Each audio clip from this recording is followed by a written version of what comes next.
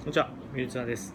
えー熊本地震からですね3週間、約3週間経ちますけれども、えー、ウィルツは熊本支店、こここで熊本支店なんですけども、えー、と通常通り、えー休みなく、えー営業をやっております。で被害的にはですね、一応、ここのあの通りに面する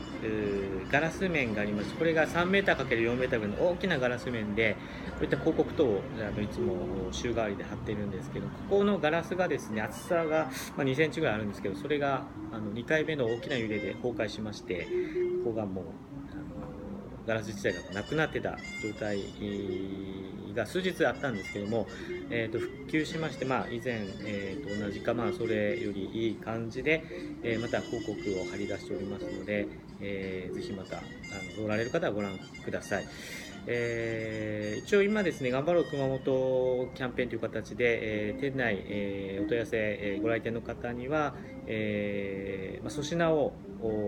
まあ、くじ引きでですね、プレゼントしておりますので、ぜひお待ちしております。えーよろしくお願いします。